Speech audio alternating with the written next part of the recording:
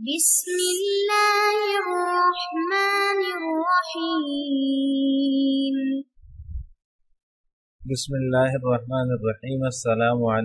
वरहमतुल्लाहि वबरकात उम्मीद है आप तमाम अहबाब खैर वाफियत से होंगे आज एम ए इस्लामियात के मजमून दावत इरशाद का सबक नंबर उनसठ है और इस सबक के अंदर हम जिस उनवान की तफसील पढ़ेंगे वो है अल अखवानमसलिमून का तरबीती निज़ाम यानी कि ये जो मिस्र की इस्लामी दावती तहरीक है जिसके पस मंज़र और क़्याम के बारे में हमने गुज्त सबक में तफसील पढ़ी है इस तंजीम का तरबीती निज़ाम क्या है आज इसकी तफसील पढ़ेंगे तो आइए तफसील की तरफ़ चलते हैं जैसा कि आप हजरात के इल्म में है कि अखवानमसलिमून जो है चौदहवीं सदी हिजरी में नुमाया हैसियत हासिल करने वाली तहरीकों में से है यानी कि चौदहवीं सदी में जो तहरीकें उठी हैं, जो इस्लामी तहरीकें थीं और अहिया दीन के लिए और इस्लामी अकदार के अहिया के लिए जो तहरीकें उठी, उनमें जो नुमाया हैसियत हासिल करने वाली तहरीकें हैं, उनमें से एक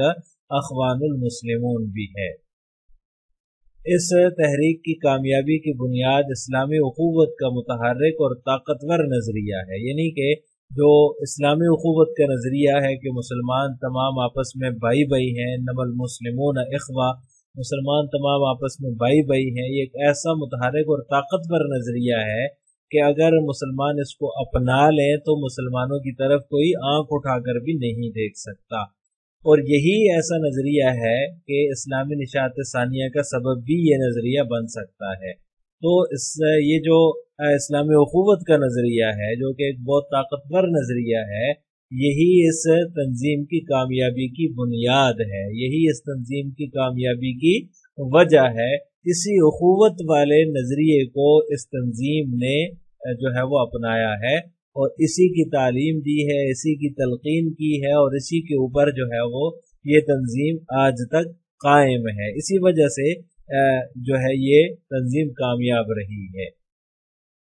लिहाजा वो बुनियादी सिफात जिनकी बुनियाद पर अखवान की तामीर और तरबियत हुई, उनमें से एक अहम सिफत अल्लाह के लिए मोहब्बत और भाईचारगी है। लिहाजा यानी कि जो बुनियादी सिफात हैं, जहाँ दीगर सिफात इनके अंदर पाई जाती हैं, और उनमें से सबसे बुनियादी सिर्फ़ जो है, वो अखबान की तामीर और तरबियत की जो बुनियाद है, वो यही इस्लामी हुकूमत का नज़रिया है कि अल्लाह के लिए मोहब्बत हो और भाईचारा हो आपस में। कोई किसी के खिलाफ ना जाए, किसी के लिए किसी के किसी के दिल में तंगी ना हो, बल्कि जो है वो अखबान की जो अखबानमसलिमून के जो कारकुनान हैं, उनकी तामीर और तरबियत ही इसी नज़रिए पर हुई है। तो लिहाजा ये उनकी दीगर सिफात में से एक अहम सिफत है कि वो अल्लाह के लिए आपस में मोहब्बत करते हैं। अल्लाह के लिए भाईचारगी का मुजाहरा करते हैं। इमाम अलबन्ना ने अखूवत और भाईचारे को बैत का एक अहम रुकन करार दिया है। यानी कि जब वो अपने कारकुनान से जो उनकी तंजीम में शमूलियत इख्तियार करते थे, उन, उनसे जो है वो जब बैत लेते थे तो उनकी बैत का एक अहम रुकन अखूवत और भाईचारा था। इसी अखूवत और भाईचारे के ऊपर वो बैत लेते थे कि ये जो अलमुसलिमून अखवा वाला जो नज़रिया है इस्लामी के तमाम मुसलमान भाई भाई हैं इसके ऊपर कायम और दायम रहेंगे और इसको अपनाएँगे खुद इस तहरीक का नाम इसी मफहम पर मुश्तमिल है यानी ये जो तहरीक है अखबानमसलिमून इसका जो नाम है वो भी इसी मफहम पर है कि तमाम मुसलमान आपस में भाई भाई हैं तो उसमें चाहे वो मिस्र का मुसलमान हो चाहे वो सऊदी अरब का मुसलमान हो चाहे वो पाकिस्तान का मुसलमान हो या दुनिया की किसी भी मुल्क में बसने वाला मुसलमान हो, या कहीं किसी कोने में बसने वाला मुसलमान हो, वो तमाम मुसलमान आपस में भाई भाई हैं। इस तंजीम के नाम का मफहूम भी इसी पर मुश्तमिल है। भाईचारे से मुराद ये है कि हम महज रिश्ता व अकीदे की बुनियाद पर बहम एक जान दो कालिब हो जाए। यानी कि हमारे जिसम तो अलग अलग हैं लेकिन हमारी जान एक है। हम इस जो है वो अकीदे और रिश्ते की बुनियाद पर जब एक जान दो कालिब हो जाएँगे तो यही भाईचारा है। भाईचारे से यही मुराद है।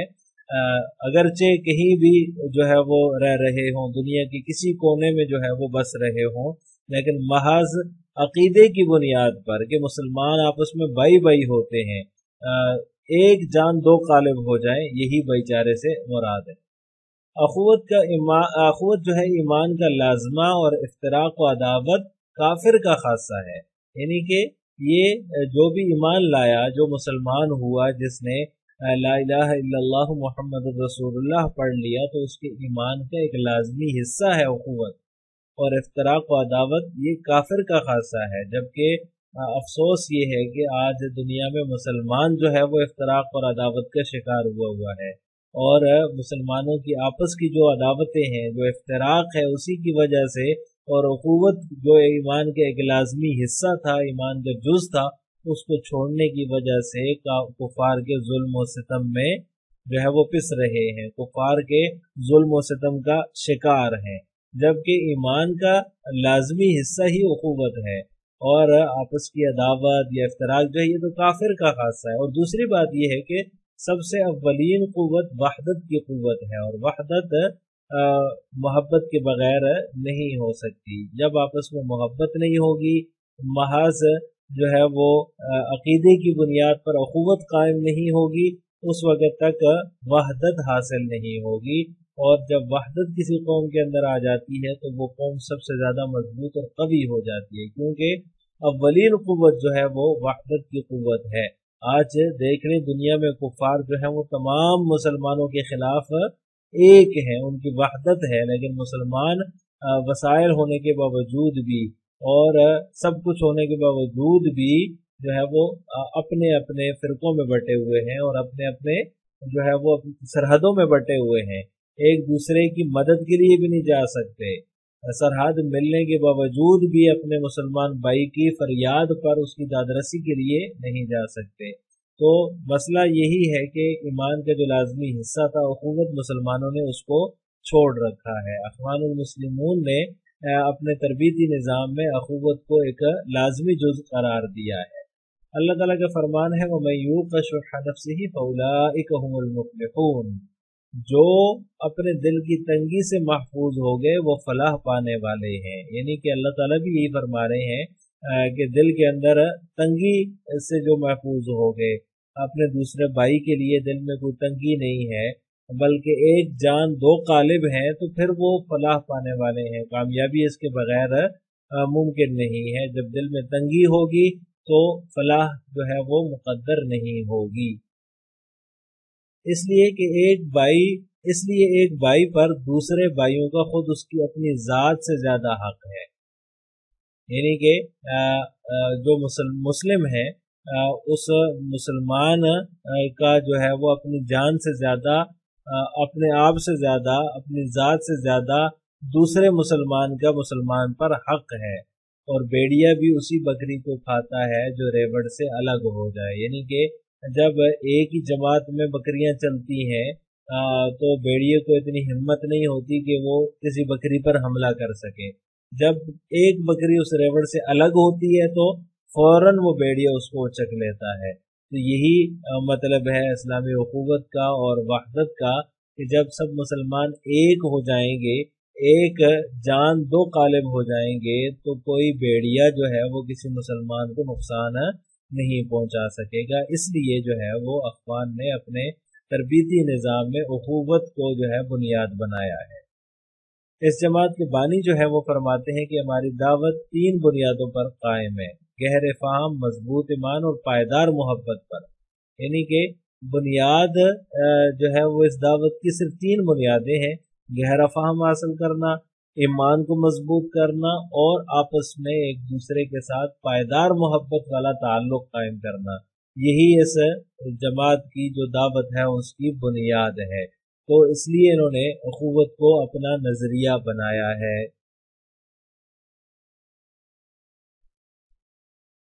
अखवत ने अखवान ने कौमियत वतनीत लसानियत या तबका वारियत के सारे बुतों को पाश पाश कर दिए। यानी ये जो अखबारमसलिमून है, इसने नज़रिया अखूबत को अपना कर कौमियत का बुत वतनीत का बुत लसानियत का या फिर कवारियत का बुत जो है वो पाश पाश कर दिया। इसी वजह से अखबान जो है, इसके अंदर कौमियत वतनीत या फिर कबारीत की कोई गुंजाइश नहीं है, क्योंकि ये अखूवत पर, इस्लामी अखूवत पर यकीन रखते हैं। इसी वजह से इनके जो जो दौर इनका गुजरा है, उस दौर में इंजीनियर, मजदूर, डॉक्टर, मरीज़, मुदर्रस, किसान, माशरे के सारे तबके और हर उम्र के लोग शाना बशाना काम करते नज़र आते हैं। यानी कि ऐसा नहीं है कि कोई जो है वो बड़ा है, कोई छोटा है, कोई जो है वो रुतबे में आला है, कोई कम है, ऐसा नहीं है। बल्कि हर तबके के लोग, हर उम्र के लोग जो है वो एक दूसरे के शाना बशाना काम करते नज़र आते हैं, जिनके दरमियान सिर्फ़ दीनी मोहब्बत और अखूवत का रिश्ता था। इसी मोहब्बत और अखूवत के रिश्ते की ही वजह से ये आपस में जो है वो शीर व शकर हैं। इनमें कोई जो है वो बड़ा या छोटा नहीं है, बल्कि अखूवत का रिश्ता आपस में कायम है। सब एक दूसरे के भाई भाई हैं, एक दूसरे के साथ भाइयों वाला ताल्लुक है। इसी वजह से कहरा में अखवान का अवामी मरकज़ एक आलमी गिराना था। यानी कि यहाँ पर जो है वो पूरी दुनिया से मुसलमान, चाहे वो हिंदुस्तान का मुसलमान हो, चाहे वो अमेरिका का मुसलमान हो, चाहे वो कनाडा का मुसलमान हो, चाहे वो यूरोप का हो, चाहे वो जो है वो अरब का हो, कोई भी हो, वहाँ पर एक घराने की तरह जो है इनके दफ्तर में, इनका जो मरकज था, वहाँ रहते थे। और कोई किसी से जो है वो किसी को अजमी को अरबी पर, अरबी को अजमी पर, काले को गोरे पर कोई फजीलत हासिल नहीं थी, जिसमें जिन्स वतन के सारे भेदभाव खत्म हो जाते थे। यानी कि ऐसा, मरकज में ऐसा माहौल था कि जैसे कि एक आलमी गिराना है जिसमें जो है वो मुख्तलिफ़ इलाकों से, मुख्तलिफ़ मुल्कों से एक ही घर के अफराद जमा हो, ऐसा माहौल होता था, क्योंकि इन्होंने जो है वो अखूवत के नज़रिए को अपनी बुनियाद बनाया है। अल्लाह के लिए दोस्ती और मोहब्बत की जो नेमत है इसके, उसके दीन का रिश्ता उन तमाम एहसानात से बढ़कर है जो खुदा ताला ने अपने बंदों पर किए हैं। यानी कि ये जो दोस्ती और मोहब्बत की नेमत है और जो अल्लाह के दीन का जो रिश्ता है एक दूसरे के साथ, ये अल्लाह ताला के तमाम एहसानात से, तमाम जो है वो करामात से बढ़कर है जो अल्लाह ताला ने अपने बंदों पर किए हैं। ये अल्लाह ताला किसी को अता कर दे किसी कौम को तो ये अल्लाह ताला का बहुत ही बड़ा एहसान है। क्योंकि अल्लाह तबारक वाली फरमाते हैं, वज़कुरू नियमतल्लाहि तुम आदान फ़अल्लफ़ बैन क़ुलूबिकुम फ़अस्बहतुम बिनिअमतिही इखवाना. और अल्लाह के उस एहसान को याद करो जो उसने तुम पर किया है, तुम एक दूसरे के दुश्मन थे, उसने तुम्हारे दिल जोड़ दिए और उसके फजल करम से तुम भाई भाई बन गए। तो अल्लाह तबारक वाली ने यहाँ क्या फरमाया? कि अल्लाह के उस एहसान को याद करो जो उसने तुम पर किया। तो ये सबसे बड़ा एहसान है जो मोहब्बत जो है वो मिल जाती है या एक दूसरे के साथ जो क़ुवत वाला रिश्ता कायम हो जाए तो ये बहुत बड़ा एहसान है। अल्लाह ताला आज के मुसलमान को भी इस अखूवत वाले रिश्ते से जो है वो और इस अखूवत और मोहब्बत वाली नमत से सरफराज फरमाए। और जो मोहब्बत अल्लाह के लिए होगी, उसे दवाम व istहकाम मिलेगा। और जो गैरुल्लाह के लिए होगी, वो ख़त्म हो जाएगी, टूट जाएगी। यानी ये जो मोहब्बत है, अगर अल्लाह के लिए है तो इसके अंदर दवाम होगा istहकाम होगा, ये मज़बूत होगी। एक दूसरे की ज़रूरत में, एक दूसरे की मुश्किल में, मुसीबत में जो है, वो काम आएँगे। लेकिन जो गैरुल्लाह के लिए होगी, वो मोहब्बत कभी दायमी नहीं हो सकती, उसको इस्तेकाम नहीं मिल सकता, वो ख़त्म हो जाएगी, टूट जाएगी। मुखलसाना मोहब्बत और सच्ची अखवत आजमाइश की घड़ियों और सख्ती और तंगी के हालात में और ज़्यादा पायदार और मुस्तकम हो जाती है। जब मोहब्बत के अंदर अखलास हो और सच्ची अखवत हो तो आजमाइश की अगर कोई घड़ी आ जाए, सख्ती के हालात आ जाए, तंगी के हालात आ जाए तो वो और ज़्यादा पायदार और मुस्तकम हो जाती है।